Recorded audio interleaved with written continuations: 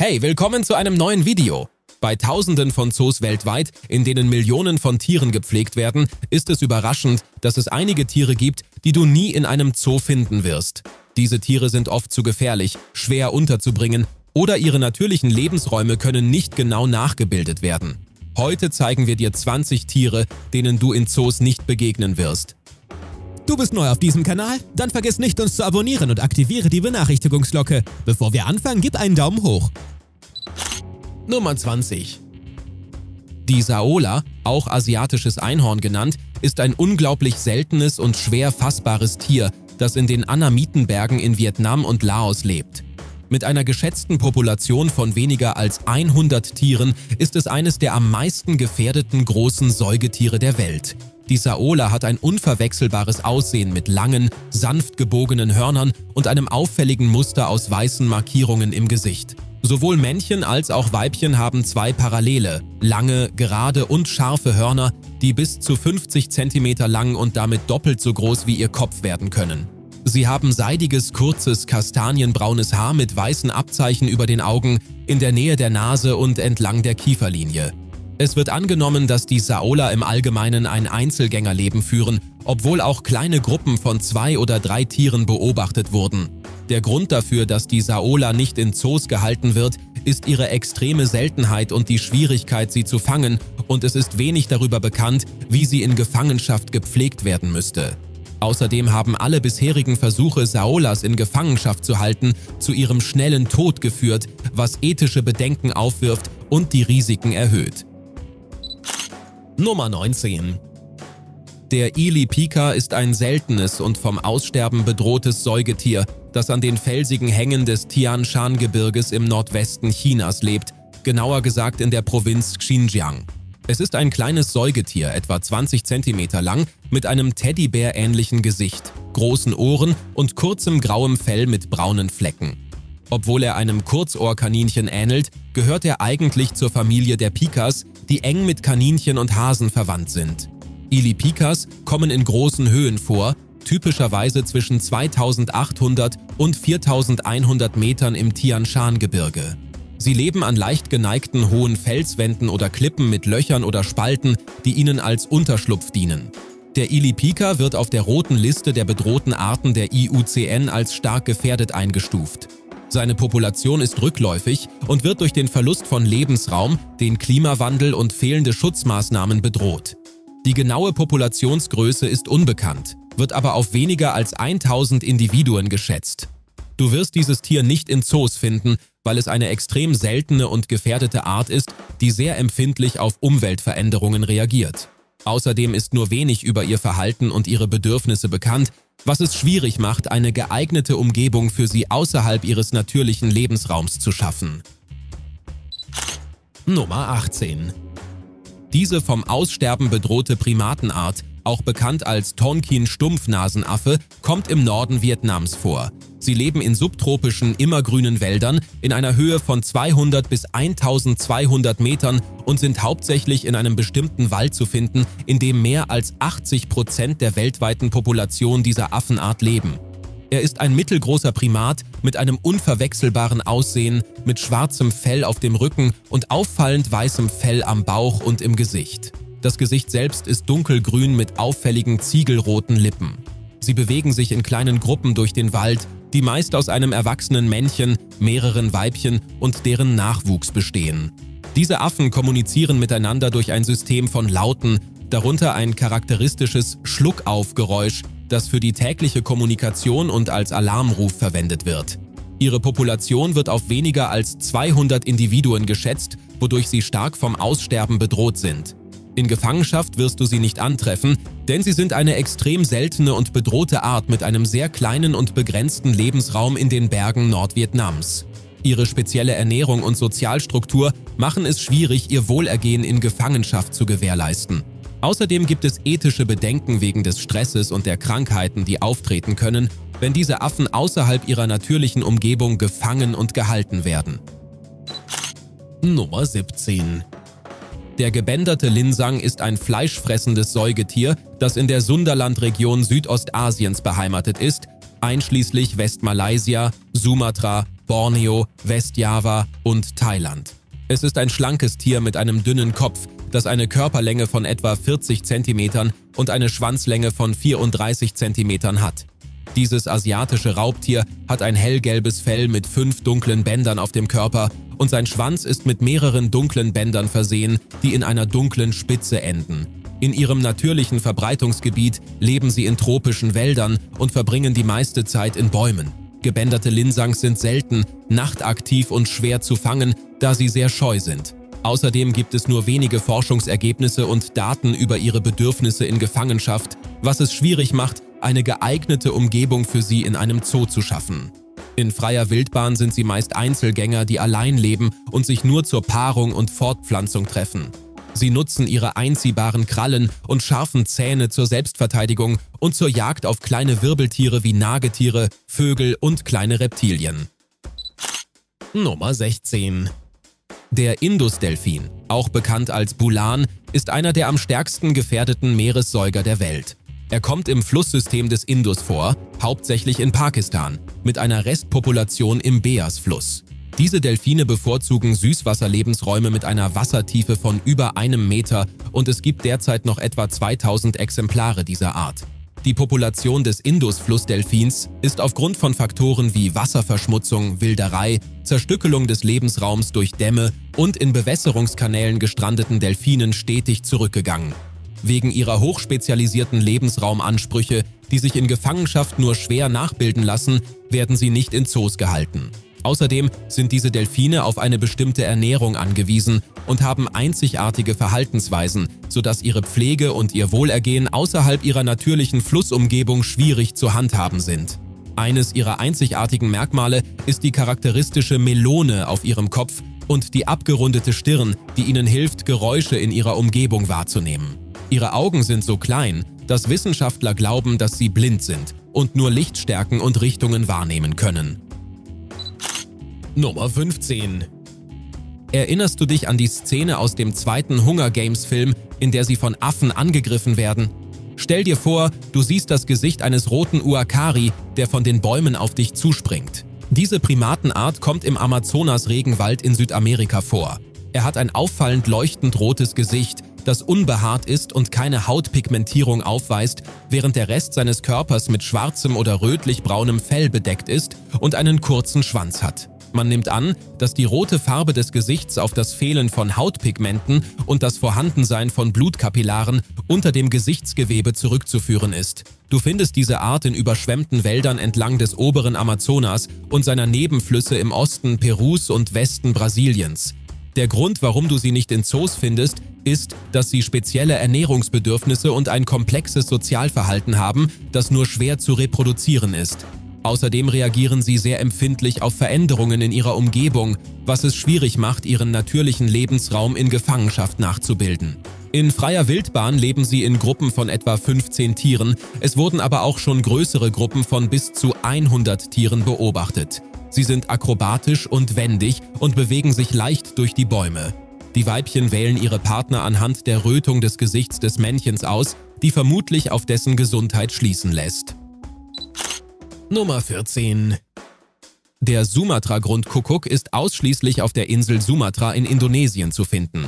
Er bewohnt submontane und montane Wälder entlang des südlichen Barisan-Gebirges in Höhenlagen zwischen 300 und 1400 Metern. Dieser relativ große Vogel, der etwa einen halben Meter lang ist, hat ein grünes Gefieder, einen schwarzen Scheitel, einen grünen Schnabel und eine auffällige blaue Gesichtszeichnung. Die Art wird auf der roten Liste der IUCN als vom Aussterben bedroht eingestuft und man geht davon aus, dass ihre Population extrem klein und rückläufig ist. Er ist unglaublich selten und schwer zu beobachten, geschweige denn für Zoos zu fangen. Dieser Vogel hat besondere Anforderungen an seinen Lebensraum, die sich in Gefangenschaft nur schwer nachbilden lassen, sodass seine Erhaltung in solchen Einrichtungen fast unmöglich ist. In freier Wildbahn stellt die Abholzung der Wälder, insbesondere durch die Ausweitung der Landwirtschaft, die größte Bedrohung für sein Überleben dar. Aufgrund seiner Seltenheit ist nur wenig über das Verhalten und die Ökologie des Vogels bekannt, außer dass er auf Waldböden lebt und sich wahrscheinlich von Wirbellosen und kleinen Säugetieren ernährt. Der Sumatra-Grundkuckuck wurde erstmals 1879 der westlichen Wissenschaft vorgestellt und blieb weitgehend unbeachtet, bis er 1997 von Anja Raffiastanto wiederentdeckt und fotografiert wurde. Nummer 13 der erste Megamouth High wurde am 15. November 1976 vor der Küste von Hawaii entdeckt, als er sich im Anker eines Schiffes der US-Marine verhedderte und als neue Art von Filtriererhaien identifiziert wurde. Er ist für sein bemerkenswert großes, rundes Maul bekannt, von dem er seinen Namen hat, und ist neben dem Walhai und dem Riesenhai die kleinste der drei sich filternden Haiarten. Megamouth-Haie können bis zu 1200 Kilogramm wiegen und bis zu 5,2 Meter lang werden, wobei die Weibchen in der Regel größer sind als die Männchen. Sie sind weltweit in tropischen und gemäßigten Gewässern zu finden. Dieser Hai wird wegen seiner Seltenheit und der Schwierigkeit, ihn zu fangen, nicht in Zoos gehalten. Er bewohnt bestimmte Lebensräume und hat spezielle Ernährungsbedürfnisse, die sich in einer künstlichen Umgebung nur schwer nachbilden lassen, sodass eine Haltung in Gefangenschaft unpraktisch ist.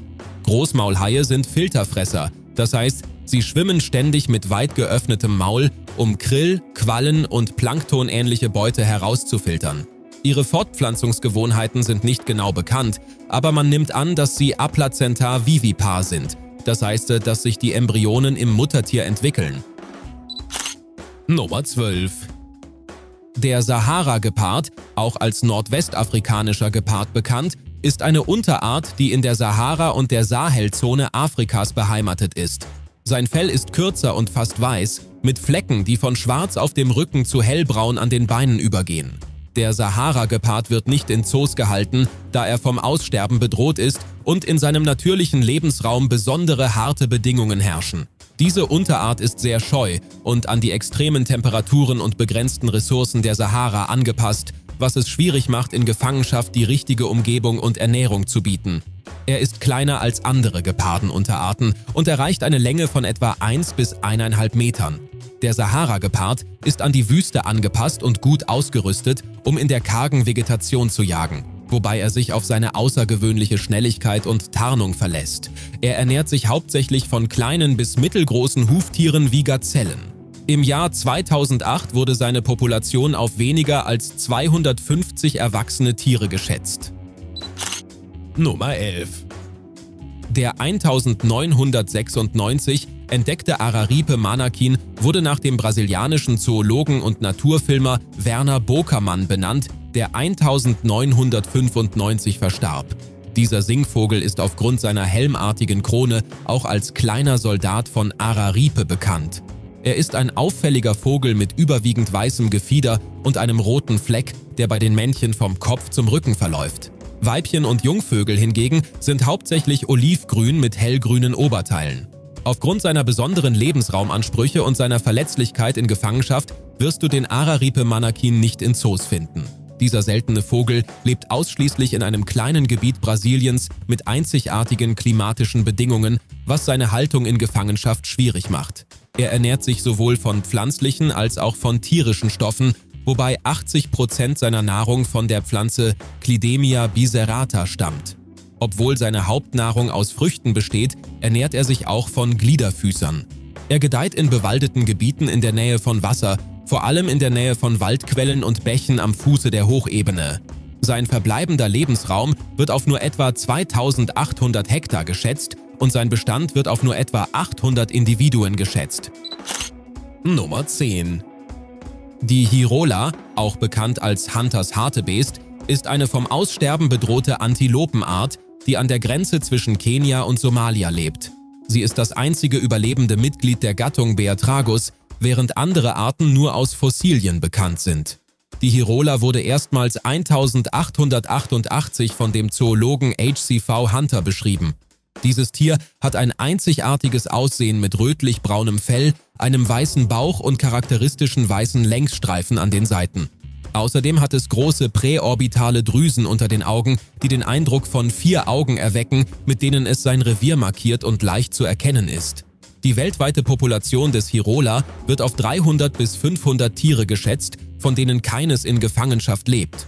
Er wird nicht in Zoos gehalten, da er sehr anfällig für Krankheiten und Stress ist, was es schwierig macht, ihn gesund zu halten. Außerdem haben sie besondere soziale Strukturen und territoriale Verhaltensweisen, die sich auf engem Raum nur schwer nachahmen lassen. In freier Wildbahn bewohnen sie kurzrasige, saisonal trockene Graslandschaften und Waldsavannen-Mosaik-Lebensräume. Im Laufe der Jahre ist ihre Population aufgrund von Faktoren wie Konkurrenz durch Nutztiere, Dürre und Wilderei stark zurückgegangen. Nummer 9 Wusstest du, dass Wissenschaftler im Jahr 2003 eine neue Walart entdeckt haben? Der Omura-Wal ist eine kleine Bartenwalart, die zwischen 9,5 und 11,5 Metern lang ist, wobei die Weibchen etwas größer sind als die Männchen.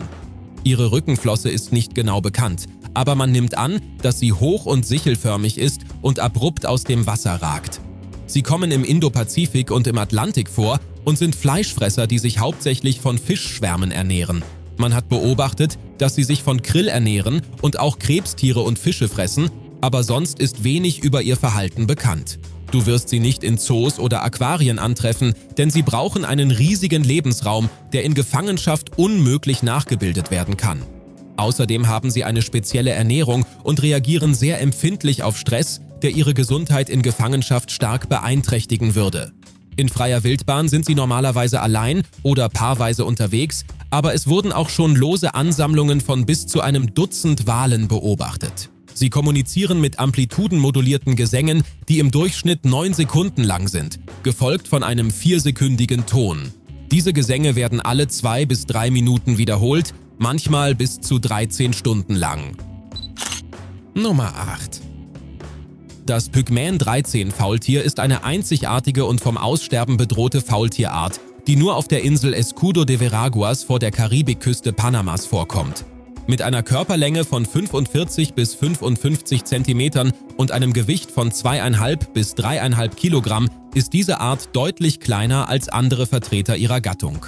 Er hat einen relativ kleinen und schlanken Schädel, große äußere Ohrkanäle und andere charakteristische morphologische Merkmale.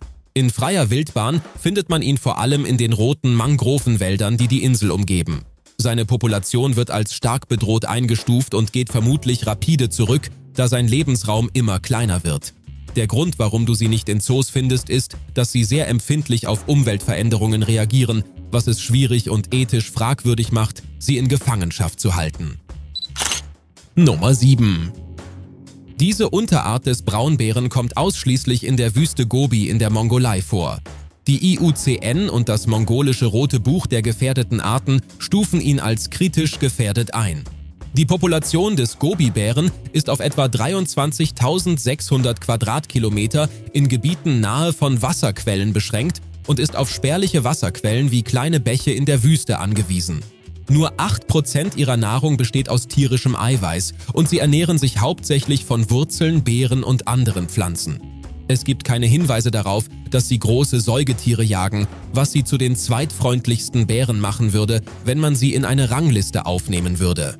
Der Gobi-Bär wird nicht in Zoos gehalten, da er extrem selten und vom Aussterben bedroht ist. In freier Wildbahn gibt es schätzungsweise weniger als 40 Exemplare. Außerdem sind diese Bären so sehr an die extremen Bedingungen in der Wüste Gobi angepasst, dass es fast unmöglich ist, eine geeignete künstliche Umgebung für sie in Gefangenschaft zu schaffen.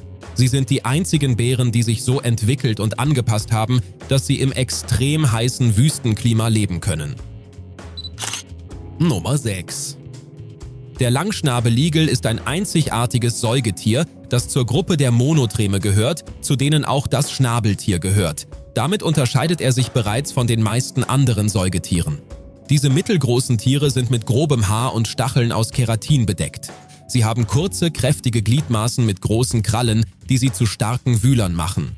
Du wirst diese Tiere nicht in Zoos finden, da sie besondere Ernährungsbedürfnisse haben, die in Gefangenschaft nur schwer nachgestellt werden können. Außerdem reagieren sie sehr empfindlich auf Stress und Umweltveränderungen, was ihre Überlebenschancen außerhalb ihres natürlichen Lebensraums deutlich verringert. Ihr Fell ist in der Regel mittel- bis dunkelbraun und sie kommen ausschließlich auf der Insel Neuguinea vor.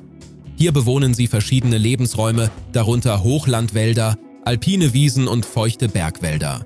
Sie ernähren sich von der Laubstreu auf dem Waldboden und benutzen ihre langen, klebrigen Zungen, um Insekten und Regenwürmer zu fangen. Diese Tiere sind für ihre Einzelgänger bekannt und haben lange nach hinten gerichtete Krallen, mit denen sie auf der Suche nach Nahrung hervorragend graben können. Nummer 5 Der goldene Riesenfuchs ist eine faszinierende Fledermausart, die nur auf den Philippinen vorkommt. Sie ist bekannt für ihre beeindruckende Größe. Mit einer Flügelspannweite von bis zu 1,7 Metern ist sie eine der größten Fledermausarten der Welt. Sie hat eine goldbraune Krone auf dem Kopf, die ihr den Namen gibt, und ihr Körper ist mit einem dunkelbraunen Fell bedeckt.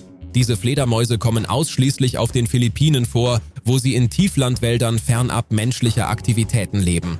Du wirst sie nicht in Zoos finden, denn sie brauchen große, offene Flächen zum Fliegen und ihre spezielle Ernährung aus Früchten, Nektar und Blumen ist in Gefangenschaft schwierig zu handhaben. In freier Wildbahn nisten sie oft in Bäumen, in gemischten Kolonien mit anderen Fledermausarten. Durch den Verzehr von Früchten, einschließlich Feigen und anderen regionalen Früchten, spielen sie eine wichtige Rolle bei der Verbreitung von Samen und der Regeneration von Wäldern. Über ihre Fortpflanzung ist nur wenig bekannt, aber man nimmt an, dass sie zwei Brutzeiten pro Jahr haben und die Weibchen in der Regel zwischen April und Juni ein Junges zur Welt bringen. Leider werden sie aufgrund von Abholzung, Lebensraumverlust und Wilderei als bedrohte Art eingestuft. Nummer 4 Die Yangtze Riesenweichschildkröte ist eine der größten Süßwasserschildkröten der Welt. Trotz ihrer unglaublich kleinen Restpopulation geht man davon aus, dass sie sogar größer ist als andere große Süßwasserschildkröten wie die Schnappschildkröten. Die durchschnittliche Länge dieser Schildkröte beträgt über 100 cm und sie kann zwischen 70 und 100 Kilogramm wiegen. Früher war diese Schildkröte im Becken des Roten Flusses in China, am unteren Yangtze und in Nordvietnam beheimatet. Durch den Verlust von Lebensraum und das Aufstauen von Flüssen hat sich ihr Verbreitungsgebiet jedoch erheblich verkleinert. Derzeit gibt es weltweit nur noch zwei bestätigte Exemplare dieser Art. Diese Schildkröten werden nicht in Zoos gehalten, da sie vom Aussterben bedroht sind und besondere Bedingungen benötigen, wie Beispiel große, saubere Gewässer und geeignete Plätze zum Sonnen und Nisten. Zu den Hauptbedrohungen für ihr Überleben in freier Wildbahn gehören der Verlust ihres Lebensraums, die Jagd zum Verzehr, die Umweltverschmutzung und die Verwendung ihrer Panzer und Knochen in der Alternativmedizin. Der Bau von Staudämmen wie dem Madushan Wasserkraftwerk hat ebenfalls zum Rückgang der Population beigetragen. Das letzte bekannte Weibchen dieser Art starb im April 2023, sodass nur noch zwei Männchen die letzten bekannten überlebenden Mitglieder dieser Art sind. Es besteht jedoch immer noch die Hoffnung, dass einige wenige Exemplare in Seen und Flüssen in Vietnam oder Laos leben, wo sie noch nicht entdeckt worden sind. Nummer 3 Die Neuguinea-Harpie ist ein großer Raubvogel mit einer Länge von etwa 75 cm, einem graubraunen Gefieder, einem langen Schwanz und einem kurzen, aber vollen Kamm. Diese Adler leben in Bergwäldern in Höhen von bis zu 3700 Metern über dem Meeresspiegel und sind auf der Insel Neuguinea beheimatet, zu der auch Teile von Papua-Neuguinea und Indonesien gehören. Im Gegensatz zu den meisten Adlern sind sie halbnächtlich. Sie sind als starke Jäger bekannt und erbeuten eine Vielzahl von Säugetieren und Vögeln, darunter Kuskus, Baumkängurus, Opossums, Ratten, Tauben, Tauben, Nashornvögel und viele mehr. Der Grund, warum du sie nicht in Zoos findest, ist das begrenzte Wissen über ihre Gewohnheiten. Außerdem benötigen sie ganz besondere Lebensbedingungen, wie zum große Flächen unberührten Regenwaldes, die in Gefangenschaft nur schwer nachgebildet werden können. Ihre Seltenheit macht es auch schwierig, eine gesunde Population in Gefangenschaft für Bildungs- und Schutzzwecke zu erhalten. Ja? Nummer 2 Der Wakita auch bekannt als Schweinswal im Golf von Kalifornien, ist ein Kleinwal und der am stärksten bedrohte Meeressäuger der Welt. Wakitas sind die kleinsten Wale der Welt. Sie sind etwa eineinhalb Meter lang und wiegen bis zu 55 Kilogramm. Sie kommen ausschließlich im nördlichen Teil des Golfs von Kalifornien, Mexiko, in einem Gebiet von etwa 4000 Quadratkilometern vor. Die Wakita-Population ist in den letzten Jahren dramatisch zurückgegangen. Im Jahr 2018 gab es schätzungsweise weniger als 19 Wakitas in freier Wildbahn. Die größte Bedrohung für ihr Überleben ist das versehentliche Verfangen in Kiemennetzen, die für den illegalen Fang des Totoaba-Fisches verwendet werden. Es wurden verschiedene Maßnahmen zum Schutz der Wakitas ergriffen, aber ihre scheue Natur macht es schwierig, sie zu studieren und zu beobachten. Aufgrund ihrer extrem geringen Population und ihrer Empfindlichkeit gegenüber Stress werden sie nicht in Zoos gehalten. Auch ihre Lebensbedingungen und Bedürfnisse lassen sich in Gefangenschaft nur schwer nachbilden. Daher konzentrieren sich die Bemühungen auf den Schutz ihres natürlichen Lebensraums. Nummer 1 Die Zibet-Katze ist eine katzenähnliche Kreatur, die auf der Insel Borneo beheimatet ist. Er wiegt schätzungsweise eineinhalb Kilogramm, hat 40 Zähne und gilt als eines der am wenigsten verstandenen Tiere der Welt. Auf der roten Liste der IUCN wird er aufgrund des anhaltenden Bestandsrückgangs und der Zerstörung seines Lebensraums als gefährdet eingestuft. Über seine Ernährung ist wenig bekannt, aber man nimmt an, dass er sich von kleinen Fischen, Garnelen, Krebsen, Fröschen und Insekten ernährt, die er in moosbedeckten Felsen und Bächen findet. Das einzige Exemplar, das jemals in Gefangenschaft gehalten wurde, fraß jedoch nur Fleisch und Fisch, nicht aber Früchte, die die bevorzugte Nahrung anderer Arten auf Borneo sind. Sein scheues Wesen und seine spezielle Ernährung machen es schwierig, diese Art in Gefangenschaft zu halten und erfolgreich zu züchten. Welches ist dein Lieblingstier im Zoo? Und welches Tier würdest du gerne in einem Zoo sehen? Lass es uns in den Kommentaren wissen. Wenn dir das Video gefallen hat, gib ihm einen Daumen hoch. Wenn du mehr Videos von uns sehen willst, klicke auf eines auf dem Bildschirm oder sieh dir unseren Kanal an. Vielen Dank fürs Anschauen und bis zum nächsten Mal.